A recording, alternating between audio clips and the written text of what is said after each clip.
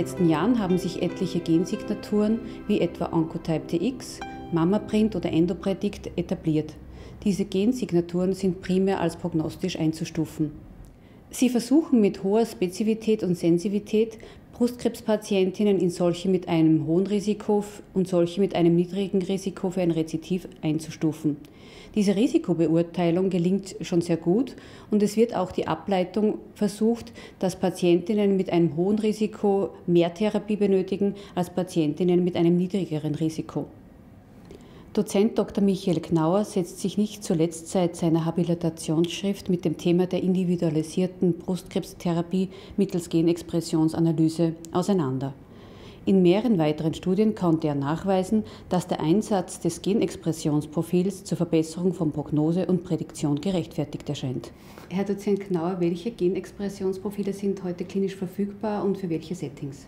Für den klinischen Alltag sind schon mehrere Genexpressionsprofile verfügbar. Sie sind äh, kommerziell erhältlich. Sie messen verschiedene Eigenschaften des Tumors. Es gibt äh, unterschiedliche Gene, die entweder über- oder unterexprimiert sind und die zu solchen Mustern zusammengefasst werden. Äh, diese Muster äh, äh, betreffen dann entweder 16 tumorspezifische Gene oder 70 tumorspezifische Gene und messen im Großen und Ganzen Proliferation. Das sind diese Genexpressionsprofile der ersten Generation. Sie sind von der Aussagekraft her vergleichbar, würde ich sagen, haben gewisse Unterschiede, was das Material betrifft, aber treffen doch eine gute Vorhersagbarkeit über das frühe Metastasierungsrisiko.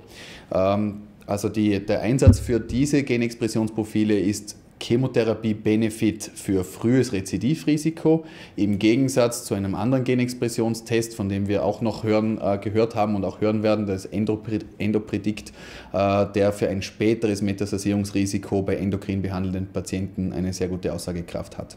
Wodurch zeichnet sich Endopredikt aus, der in Kooperation mit der ABCSG entwickelt wurde? Endopredikt äh, wurde in mehreren Studien geprüft. Es war archiviertes Tumormaterial aus randomisierten Studien erhältlich. Wir haben das auch an unseren Studien nachvollzogen und somit besteht ein hohes Evidenzlevel für diesen Test. Äh, man hat auch gesehen, dass hier sowohl für die frühen Rezidive als auch für die späteren Rezidive nach fünf Jahren eine sehr gute Prädiktion erfolgt. Das heißt, auch für die interessante Gruppe der Late Metastasis nach fünf Jahren äh, trifft dieser Test eine sehr gute Aussage und wir erwarten uns eigentlich sehr viel davon. Ein weiterer Vorteil ist, dass es dass dieser Test nicht an ein zentrales Labor in die USA oder nach Amsterdam geschickt werden muss, sondern durchaus in jeder Pathologie etabliert werden kann. Wo sehen Sie die Zukunft und wird ein äh, Genexpressionstest in Zukunft routinemäßig eingesetzt werden? Ich denke, dass Genexpressionstests in der nahen Zukunft deutlich häufiger eingesetzt werden. Das größte Hindernis heutzutage ist der Preis, das muss man schon sagen. Es ist ein zusätzlicher Kostenfaktor für die Diagnostik, der eigentlich durch die Krankenkassen momentan nicht abgedeckt ist, zumindest bei uns in Österreich. In Deutschland sind die Krankenkassen schon übergegangen, das für viele Patienten zu bezahlen, auch in den USA. Und äh, was klar ist, dass die Prognosebestimmung mit diesen Tests wie Oncotype und MammaPrint deutlich besser ist als mit nur den herkömmlichen klinisch-pathologischen Parametern.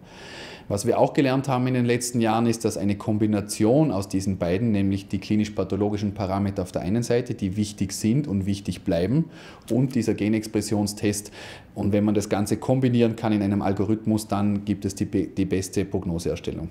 Vielen Dank für das Gespräch und einen interessanten Abend heute hier bei Experts on Twin Linz. Herzlichen Dank, sehr gerne.